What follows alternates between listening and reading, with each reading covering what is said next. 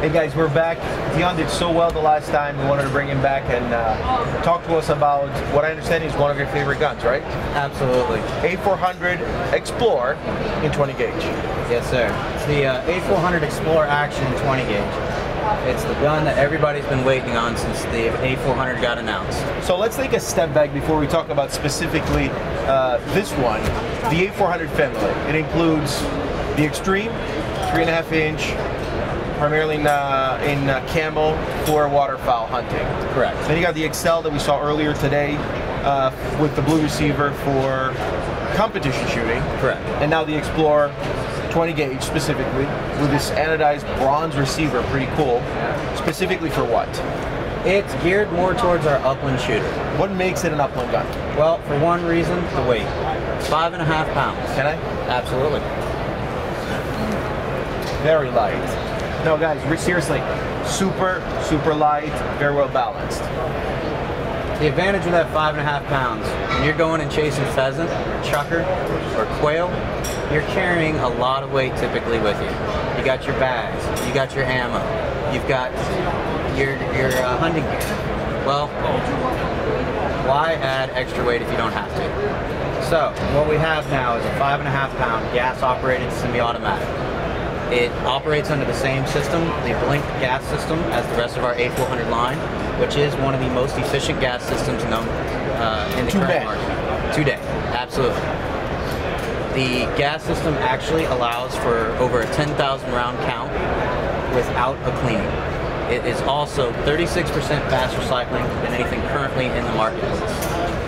This gun will actually cycle two and three quarter and three inch loads, and because it is a gas operated system, it'll cycle the light and two and three quarter loads for all your quail hunting. We also have the optional kickoff system here in the stock. This is a dual hydraulic piston, three suspension spring system. So you get a 60% reduction in felt recoil. Now you get a lot of people that ask, why do you need that with a 20 gauge? Well, when you got a nice lightweight gun, it's still going to have a little bit of recoil, especially if you're shooting those three inch magnums going after your turkey or your ducks.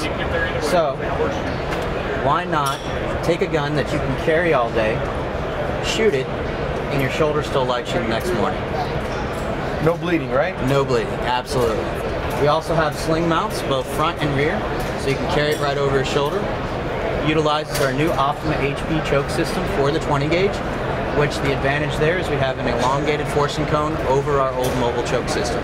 So you're getting less muzzle rise out of it, you're getting better pattern, and you're not getting as much felt recoil in general. Does this gun also have the uh, famous uh, locking uh, B-lock that uh, turns and No, it does not actually come with the B-Lock gas system. That is only on the A400 Xtreme. only on the Xtreme? Okay. Only on the Xtreme. Absolutely. But what you do have over the 391, which was our previous 20 gauge, is a lot fewer parts.